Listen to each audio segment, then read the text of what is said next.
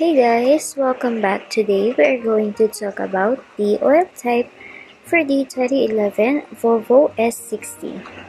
And if you are looking for what oil to buy for your 2011 Volvo S60, I have already looked it up. Just check the video description and I will try to leave the info there as well.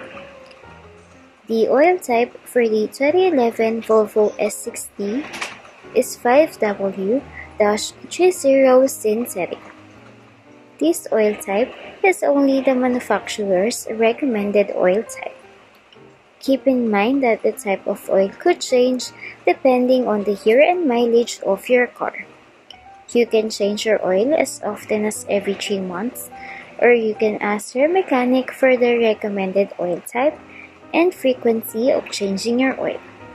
So once again, the oil type for the 2011 Volvo S60 is 5W-30 synthetic.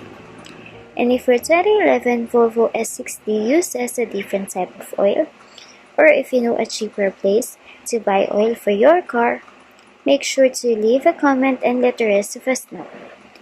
Don't forget to check the video description for the most recent price. Thank you for watching this video. Please like and subscribe.